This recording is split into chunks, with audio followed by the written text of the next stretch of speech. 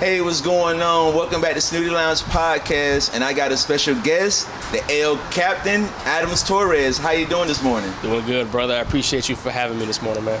I really thank you for coming on, but uh, I got a baseball in my hand that you signed for me during the Super Regionals. Who was your first autograph that you got? If I'm gonna be honest with you, bro, I can't really remember, but I'll just tell you who my favorite player is and was actually, and who I got is Robinson Cano. Why is it Robinson Cano? I just love the way he played, man. Dominican, he played second base, and he was just uh, he was just a great leader on the field when he played with the Yankees, and he just had a lot of drip, man. He was a swaggy guy, and I just I always wanted to be like him growing up. So I think that's why I got the nickname Swag. A lot of guys call me Swag, but it's because I wanted to emi- e- emulate him. So Yeah, man, you got a lot of swag, and I just Appreciate found out that. you a Yankees fan and sir. from Manhattan. yeah, But yeah. I'm gonna focus more on the playoff run that you guys had. I know the first game you played at Valdosta State, and y'all torched them, went 18 and seven. What was the confidence of the team after that game? It was very high, man. Um, just just knowing that we could battle and compete like that, going back and doing the same thing, and, and just understanding that you know, regardless of the situation, uh, we had the experience already. So for us, a lot of the seniors, we just knew like just got to go out there and do our thing, and that's what we did. So Yeah, that was a, a really, really good game, 18 to seven. And then y'all went and played Tampa, the number one seed, and y'all torched them and got a trip back to uh, to Rollins. And you played Barry State, the two game series. What, what what was the feeling of you winning the game back here with your fans watching, beating Barry University? man, there's nothing better than coming home and being able to, more or less, for lack of better words, put on a show for your fans. You know what I mean? Because at the end of the day, you, you really dream about doing it in front of your people. So uh, Rollins, I don't know how long it's been since they've done that, super regional or regional, hosting something like that. But for us to have that opportunity, uh, you know, beat the number one team, Tampa at the time in the country, do it two years in a row. One time at, you know, at their place, get to do the super regional, and then at our place, get to do the super regional, to go to the World Series is, is you couldn't ask for anything better than that, man. Man, I want to say thank you. Yes, sir. Uh, I got to take a picture with you. I got to hold the trophy. I remember on my Instagram, I said uh, I temporarily uh, clinched it with you guys. But Yes, sir, um, man. I know you guys went to Cary, North Carolina, and you had to play a couple more games. But what was the experience in Cary, North Carolina, outside of baseball? Man, there's a lot of hotel time, a lot of time on the bed, just trying to figure out what to do. Actually, the first couple days we had a couple days off, so we went and visited Duke University. A couple of my boys, you know, that, that we were close on the team, visited Duke University. That was my dream school coming out of high school. Wanted to see what that was like, and then uh, a couple other schools, uh, North Carolina. Just kind of visited universities in the area, and then just kind of see what the what the life was like out there in the city, man. Just trying to you know go to a couple minor league baseball games. The the AAA team for the Tampa Bay Rays is out there, so we went and watched them, and it's a cool experience, man. I mean, there's a lot of stuff to do out in North Carolina. Beautiful state, beautiful beautiful area, so it was kind of dope. That's what's up. Uh, I was JJ Redick fan, so I'm a Duke fan myself, more like back in the day. But Yeah. what did you do at Duke? What specifically did y'all do at Duke University? Man, just tour, man. They got a beautiful beautiful church. They got a beautiful campus. Uh, the students there right now, uh, a lot of lot of inte- intellectual kids, and just got the just got the tour of the, the sporting facilities. That was really our our main goal, man. You got to see uh, Cameron Indoor Stadium.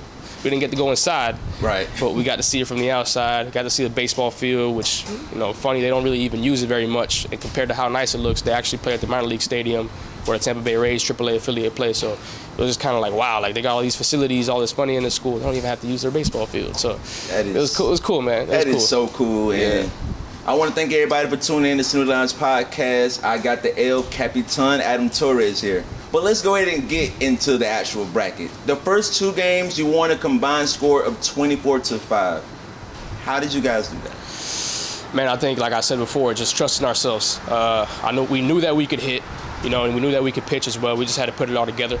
And like I said before, we had the experience. We had a lot of guys, a lot of seniors, and uh, I actually had an interview there that I even told the, the interviews, you know, it's all about scoring first.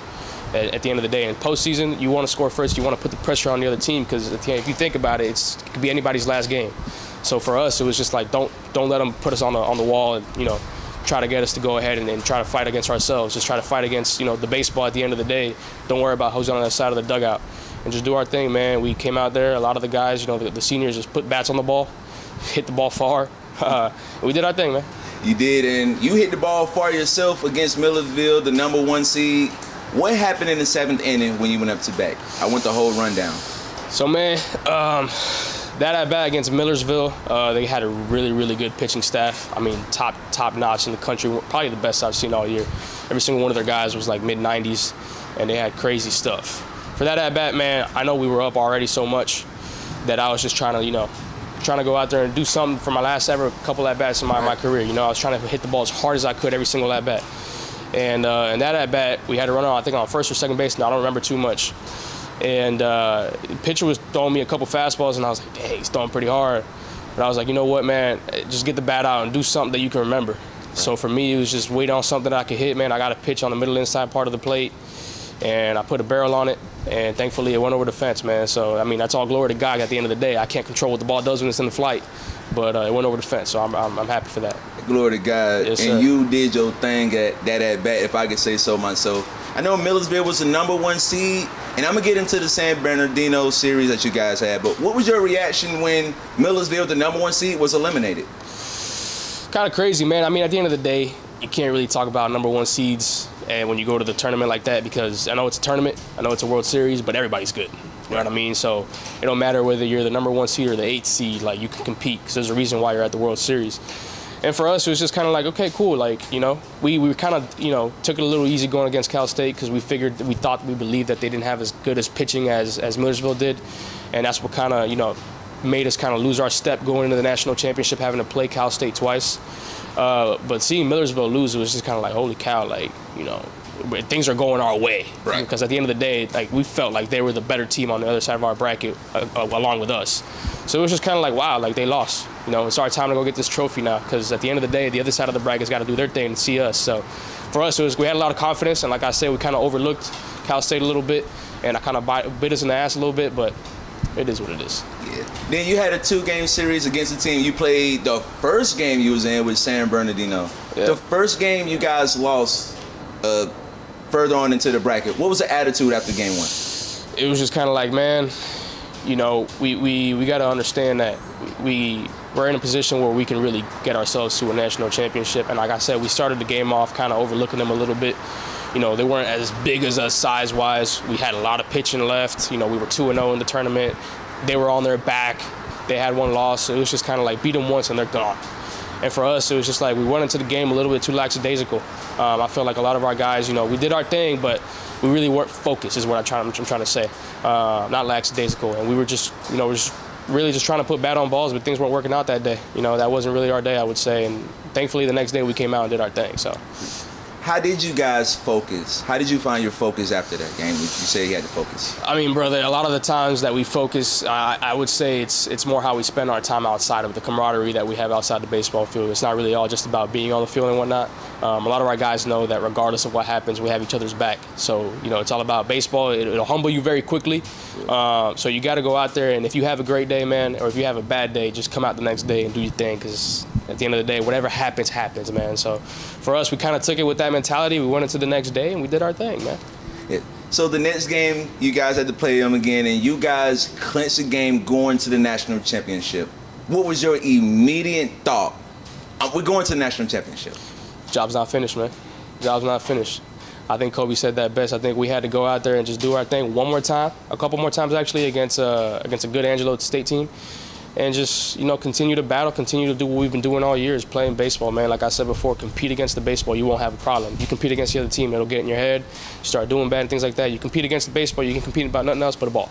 So that's how we saw it, man. And we went out there and we tried to do our best against uh, uh, Angelo State. And you know, that first game for us was like you, you see all the the flag and all the fans in the stands, and you're like, holy cow! Like the way they set it up, it makes you feel like you're playing in, in Major League Baseball in October, man. So Right. It was to, to, to actually sit there and think like, damn, this could be my last baseball game, or we could go into another one. But this is for sure the last day I'll ever be playing baseball. Is this Saturday, June whatever. Just to kind of think about that as I'm looking at the flag, the national anthem, and seeing the other team on the other side, I was just like, holy cow, like this is a great way to end it. You know what I mean? At the end of the freaking day, whether we win a national championship or not, you know. For me, it was like I wanted to come out here with that trophy, but you know things didn't work out that day. But it was it was an awesome experience. I know it was for sure. What did you tell the team before the game started? Dude, I think we were just all locked in. I don't think there was too much too much talking. We were we were very, very uh, you know loose and whatnot, stretching, doing the same things we do all the time, playing around, um, talking to each other. But uh, we were locked in, man. I think a lot of the guys were ready to go. Uh, we knew that we had to win two games that day to win a national championship. For for us, it was just like, man, don't even talk to me right now. I'm ready to go, type stuff. So that's how it was. It's kind of dope. Yeah. So I know the game. It went five to six. You had a pretty good at bat. You went three for four that day, and the game did not go the way that you wanted to go. How did it feel when that last out was made that game? You know, we battled. Um, kind of waited a little too long to do our thing. Um, but it is what it is. You know, uh, Angelo State, like I said, they also had a very good pitching staff. Uh, we were a little bit down in pitching at the time, so we had to we had to find a way and battle it out to try to figure out how we were going to come back. Whether it was through offense, we knew we, we knew we, we could out hit them. We just you know hit into a couple double plays. I hit into one myself the first inning and uh, you know got ourselves out of some innings that you know we should have scored some runs and really put the pressure on them. Like I said, whoever scores first really in the postseason is who's going to win the game because it's hard to battle back when you know you got your back on the wall. Uh, but at the end of the day, you know, congratulations to them. They were a great baseball team, but we did everything we could that day, and you know, didn't work out. So. I know it's been a couple of more, couple of days since the game has been going. The game happened what would you tell your teammates right now? It's been a couple days since the game has been over. What would you tell your teammates right now? Man, I just want to see my guys and hug them. I don't think I want to tell them anything about baseball. I don't think a lot of the seniors, man, we're just moving on in life, and we understand that what we did out there on the field for us to be able to go back to baseball heaven uh, and do that twice. Not a lot of people get to do that, so. Uh, I know whether it's and me myself, I don't have any remorse, but a lot of my guys, I know they're living life right now, enjoying it and I miss a lot of them, bro. I would just, if I were to tell them something, I miss you, bro. I got a couple guys that are around here. I'm probably gonna see after this. So, uh, but yeah, man, that's how. That's what I would say. I want to say you had a very, very great season. You batted 362, 58 for 50 games played, and also the third most hits in the history of Rollins College, 92. But you made an Instagram post, a last post saying Adams Adams Torres is out. I, Excuse me. No problem. What will you miss the most about Rollins Tars baseball? Man, I mean, being around the boys.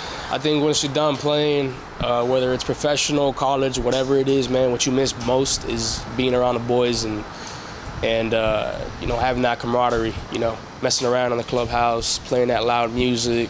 And I was I would always come in with my speaker. It's a small little Sony speaker, but I would be the first one to start playing music, trying to get the vibes going, man. I guess I would say miss that, man, but like I said, at the end of the day, we, we have a very good connection, all of us. Uh, I am going to miss being out there on that field, man. You know, hearing from the coaches, being able to be a part of a team, and and uh, a lot of that stuff, man. You think about that stuff when you're done. Like when baseball was over for me that day, I was like, dang, like I didn't really cry on that field. Like I said before, I don't really believe in crying in baseball. Instead, in the Sandlot. I grew up watching that movie. It's my favorite baseball movie ever. But that day, it was just kind of like the only the only reason I cry is because I talked to the people that I was really thankful for. You know, for giving me that opportunity to play baseball. So you know, I'll miss being able to be a little kid for nine innings, for two hours, whatever you want whatever you want to call it, and being able to, to hit a ball as hard as I can and run around the bases and call my boys and say, yo, like let's let's you know we got to get it up, we got to start doing something. You know what I mean? So things like that, man. But other than that, life is going on. I'm ready to go forward with it. So. Yeah, I know life is going forward for you, and I want to say I really, really do want to thank you for yep. coming here and doing this interview today. I know the memories you're gonna have with Rollins Tars is gonna last with you forever. And